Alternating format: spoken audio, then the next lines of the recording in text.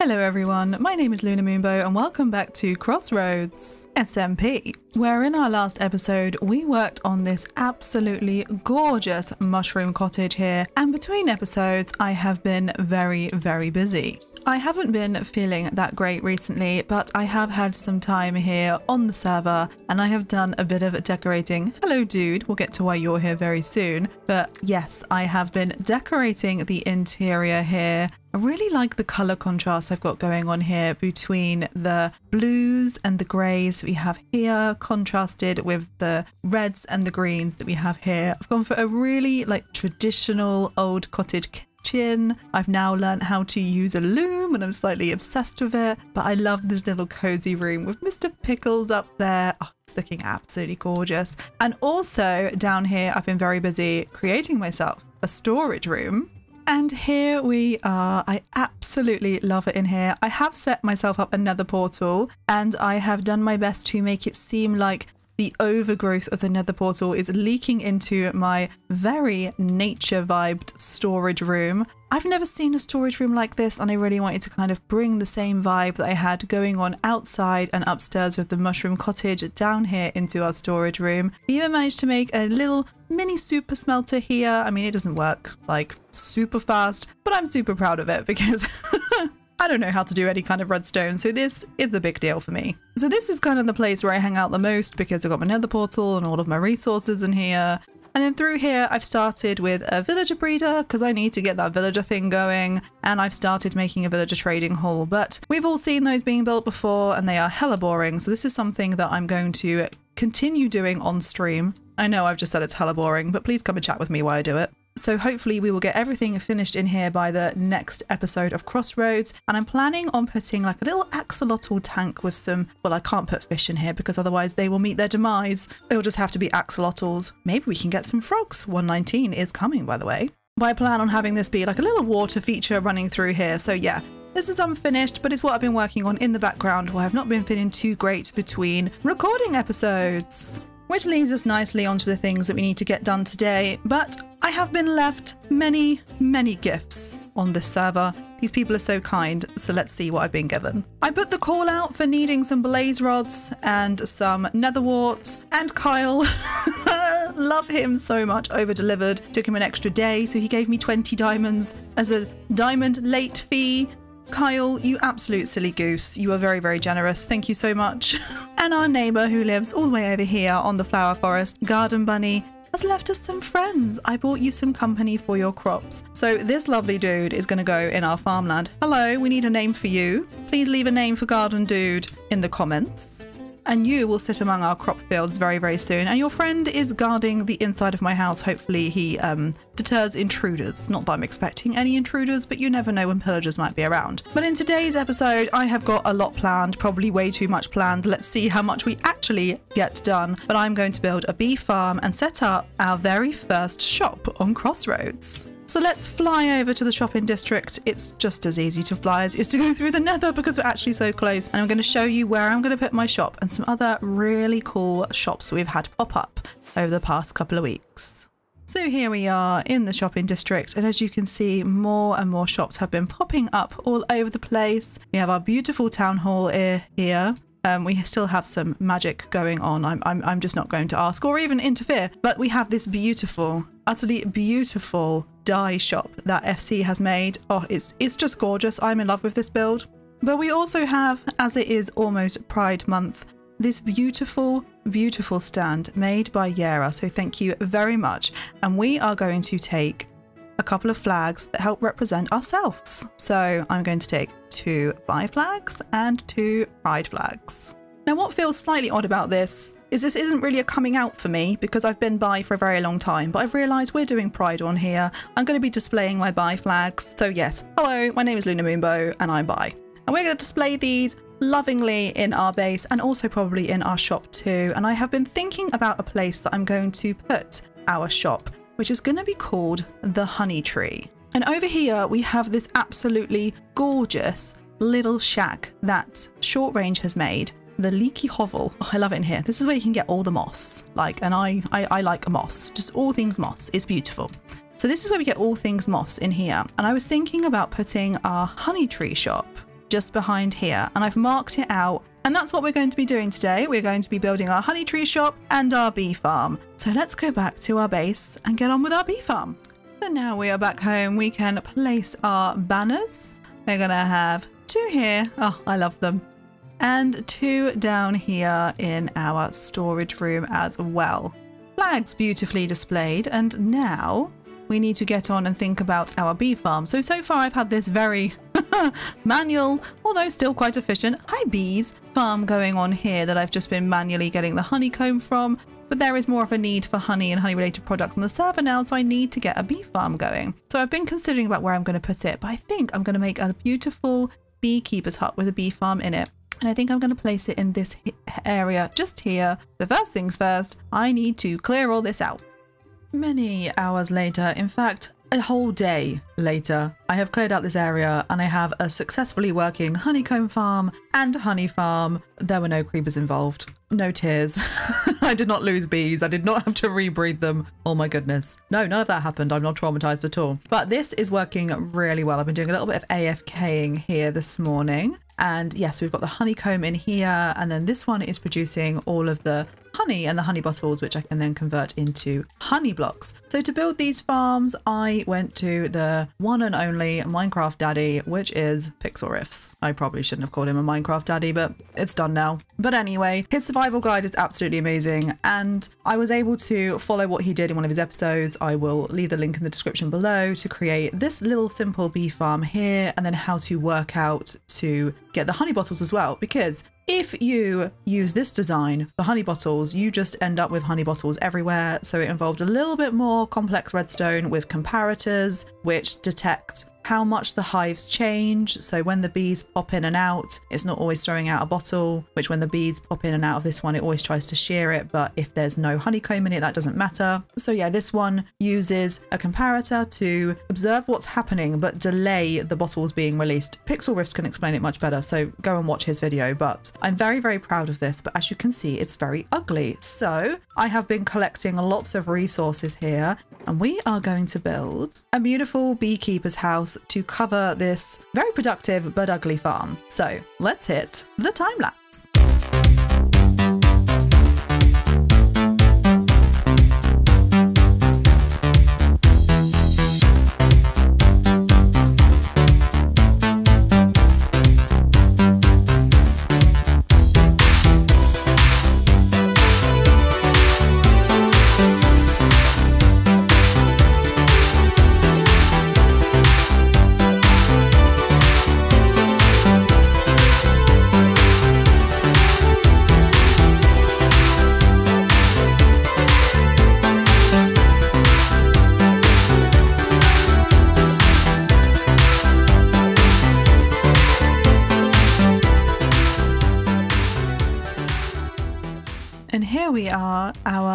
Our beekeeper's house is all complete and looking really, really lovely. Oh, goodbye bees.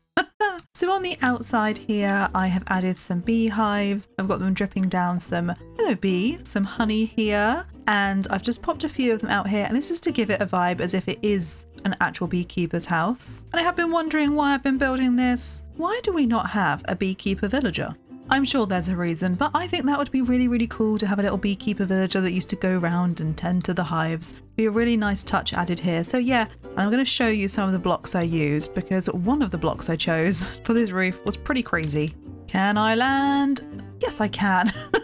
so here, you might recognize this block. It's um, raw gold. I had to go out to a mesa and to a gold mine and collect so much gold for this build, but I think it just adds a little extra shiny texture here. I did try making it all out of honeycomb and moss in my test world. It wasn't textured enough. So I wanted to add some other blocks in here as well. So I added the yellow terracotta, bit of orange concrete powder because it goes nicely with the honeycomb. And I wanted to keep the same overgrown vibe with the moss and the flowers on top of the roof here, added some azalea leaves.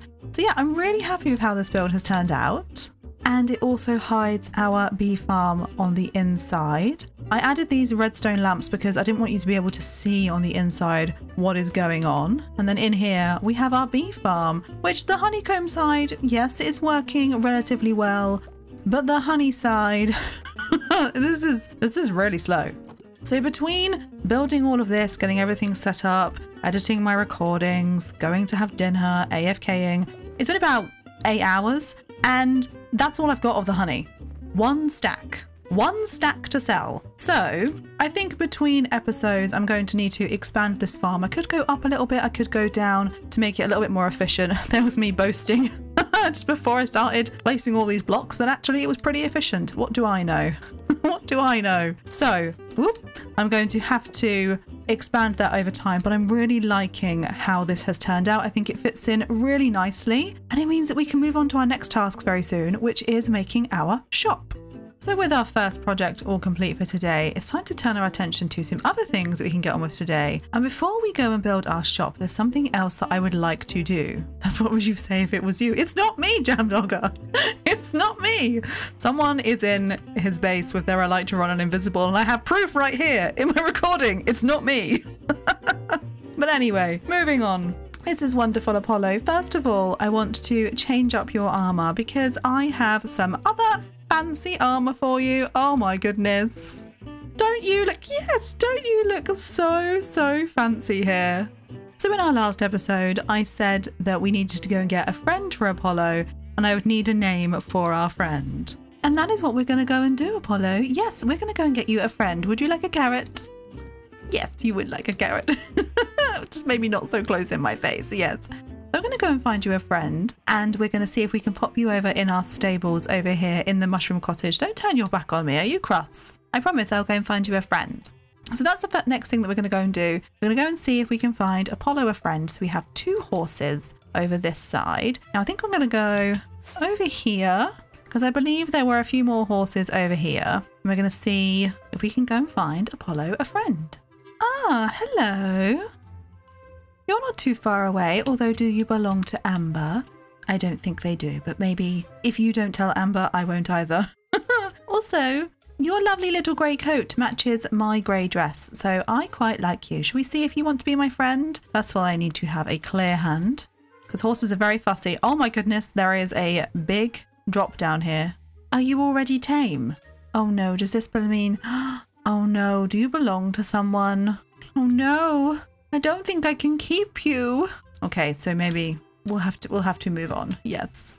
Please don't take me in the hole. Oh my goodness. How how have you not died down here yet? Hello? I think we need to save you.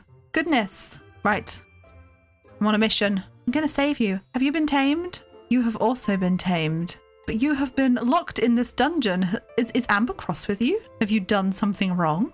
I'm on a mission to save you, horse. This is going to require some brain power. I feel my brain power failing already. Look, I'm trying to save you from the hole. I don't know what punishment you had, but I don't believe you deserved it. Oh, goodness me. This is why people don't work with animals, isn't it? Oh, can you not get through a one wide hole? Well, horses are high maintenance. Yeah, there we go. Right, now I need to cover this hole back up. There we go. No one will ever know. Well, I don't think I can keep you because you've already been tamed, but let's not tell anyone that whatever punishment you were set in there for, I forgive you. You can have a carrot. As much as I would love to keep this horse, I think they belong to Amber. So I'll have to go this way and see if I can find any more. Horsey, have I tamed you already? Oh, you are not tame. Hello, my friend. Oh, apparently I'll just hit you with a spade. I'm sorry. Do you want to be Apollo's friend? You have good hearts. Oh, no. Oh, please love me. you love me. Okay, now let's see how fast you are. Not too bad, actually. Not too bad. Not as quick as Apollo, but that's okay. And our forest is just over here. Awesome. Right, let's take you back. And I'm going to put on some fancy armor for you. Oh, look at you. Now we have a friend for Apollo. Yes, we do. Look, Apollo, I have a friend for you. Oh no, you look very similar. I think I'm going to have to name you both. So, Apollo, I would like you to meet. And this was the most popular name down in the comments. This is Artemis. Yes, look, she's trying to give you a cuddle already. You look very similar. Maybe you're twins. so now I need to go and get some name tags. Yes, you're very close inside my head here. Thank you. Thank you. That's that's awesome. And then we're going to go move them over to the stables. And I'm going to need to quickly work out how to spell Artemis and hope that I'm saying it right too. I don't like having dyslexia. Apollo. And I definitely didn't look up how to spell this. Artemis. I really hope I spelled that correctly. And if I'm saying it wrong, please spell it phonetically for me down in the comments. Because that's the only way I'm going to learn. It is time for your official naming ceremony. So you're, hang on, you have the spots on you. You're definitely Artemis. And which one do I have in my hand? Apollo. So hello, Apollo. And hello, Artemis. Look at you both. I mean, one of you show me your butt. Yeah, turn around. Thank you very much. Thank you. This is a very special day. Right, so now I'm going to move you both over into your little stables. And there we go. So I'm hoping to get some roads built for you two. And then maybe we can get up to, to some shenanigans with you both at some point. I'm going to have a think about what we can do. Apparently, there might be a pun war going on. Maybe we could take part. Maybe we could profit. But either way, I'm very happy to have these two friends here now. So we've got a lot done so far. We have our horses, we have our bee farm and our beekeeper's house. But the next thing we need to do is to think about building our shop. Now I've spent a very long time in creative building my first ever custom tree and I had to collect 500 odd leaves for this project. And you will not believe, I've literally just watched FC Dad's video and he has a leaf shop. I'm not sure when it opened, but I collected all those leaves by myself. Slightly frustrating, but never mind. So I'm going to pack all of this up and going to go over to the shopping district. And then you might get your second time lapse of an episode. So we have made it here to the shopping district. I have got all of my resources with me. I'm going to have a bit of a think about I might need to terraform this hill a little bit, but you're going to get your second time lapse of this episode as I'm going to build my very first custom tree.